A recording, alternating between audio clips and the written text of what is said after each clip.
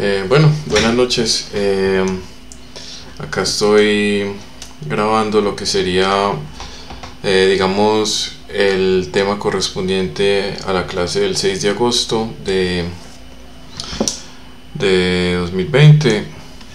Como ustedes saben, como pudieron ver quienes asistieron a esa sesión, Teams ese día tampoco nos quiso aceptar grabar por alguna razón, la verdad no entiendo y nuevamente voy a empezar mostrando primero una captura de pantalla de ese día donde se ve que estuvimos reunidos.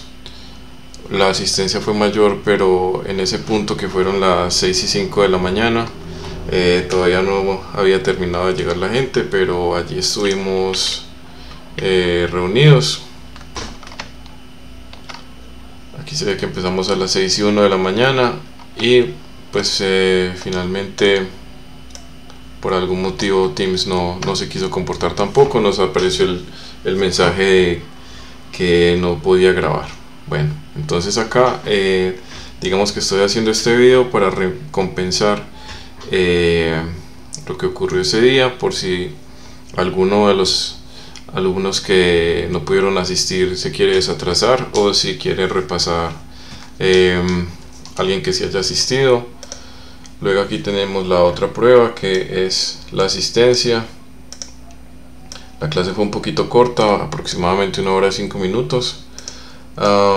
Porque más que todo lo que vimos fue un repaso de lo que ustedes ya habían visto en el semestre pasado en introducción al desarrollo de software vamos a, utilizar el mismo material que, que vimos en, en, la clase del, del 6 de agosto para que digamos podamos emular la experiencia lo más que podamos hoy. Eh, obviamente esto va a ser muy resumido en comparación a, a, esa clase porque no vamos a tener la intervención de ustedes. Eh, pero pues igual vamos a tener todo el contenido bueno, la clase comenzaba con una sugerencia de un alumno que eh, nos estaba comentando que eh, sugería ver esta clase con otro lenguaje que no fuera Java.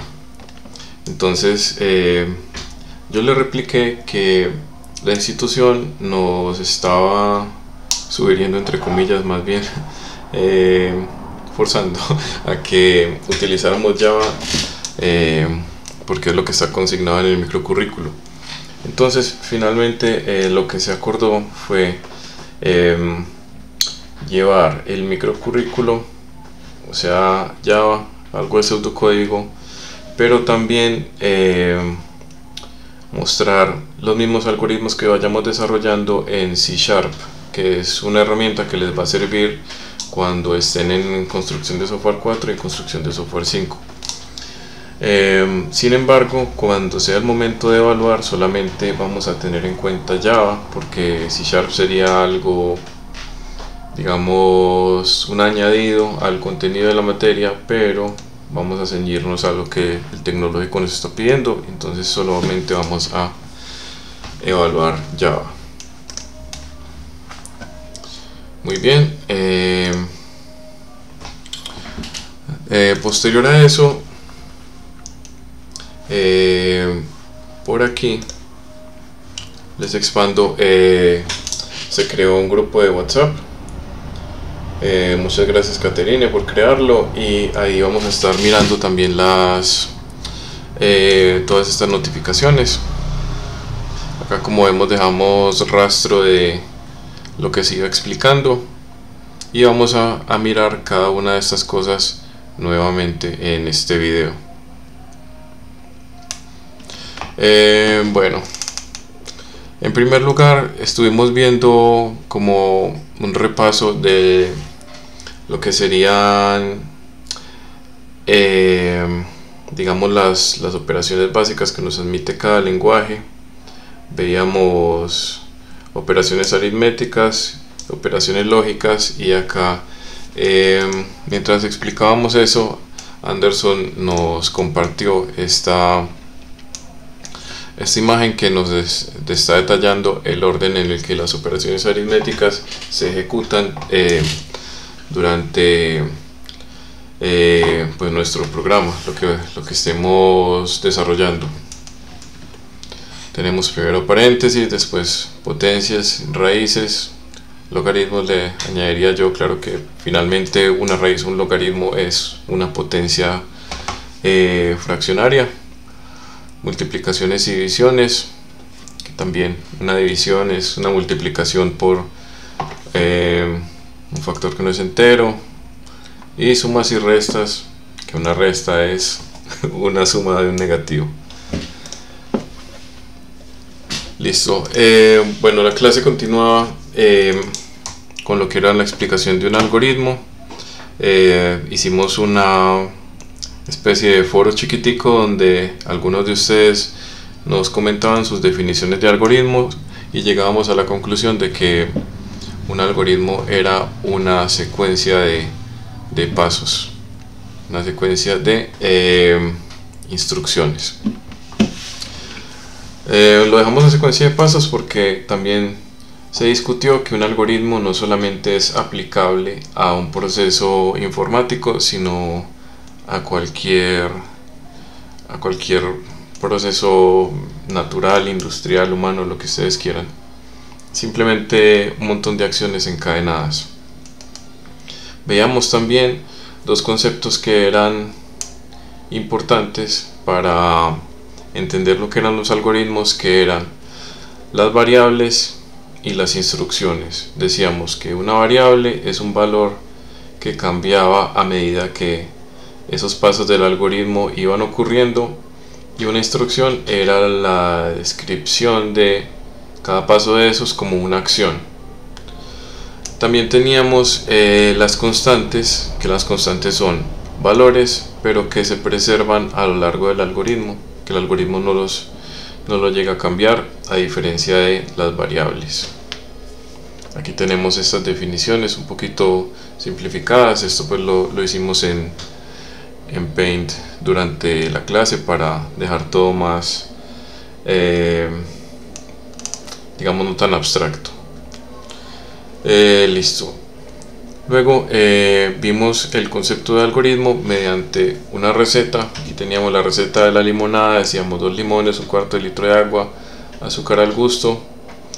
Estas eran nuestros, nuestros valores, nuestras variables.